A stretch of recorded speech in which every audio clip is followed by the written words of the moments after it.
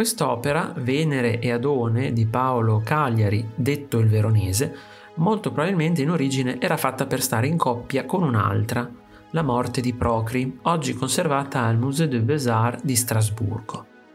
Ai committenti dell'opera piaceva esporre nelle proprie sale da pranzo o di ricevimento delle opere che raccontassero una storia, dando vita a piacevoli discussioni. Qui in particolare il dipinto ha come filo conduttore il tema dell'amore troncato dalla morte, nel caso specifico quella di Adone, figura mitologica dalla grande bellezza.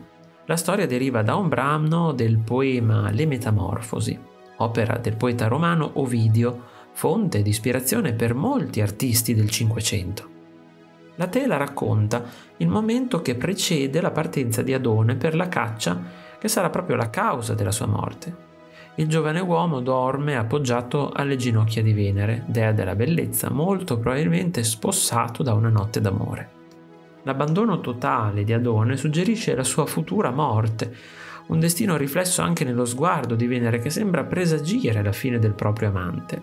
La dea, con il ventaglio, rende più dolce il sonno di Adone, accarezzandone con una mano i capelli, mentre Cupido trattiene uno dei due cani per impedirgli di svegliare il padrone, mentre l'altro cane, placidamente accucciato a terra, non sembra avere nessuna intenzione di partire in una battuta di caccia. Tutta la scena si svolge in un paesaggio idilliaco, una campagna rigogliosa e verdeggiante nella quale si intravede anche un fresco corso d'acqua. A rendere l'opera particolarmente raffinata concorrono una serie di particolari che meritano la vostra attenzione.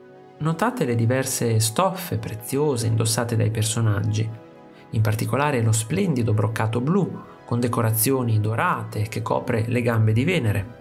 Sempre sulla dea osservate il dettaglio del bracciale d'oro o del filo di perle al collo, degli orecchini e del fermaglio che trattiene i capelli in un'acconciatura che rispecchia la moda dell'epoca.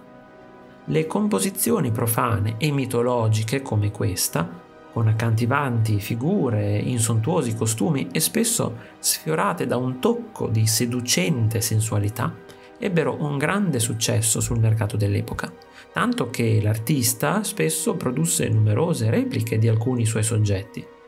Veronese fu uno dei più ammirati protagonisti della pittura italiana di fine Cinquecento, grazie alla sua eccezionale capacità di rendere vive e concrete allegorie o episodi mitologici come questo che vedete di fronte a voi.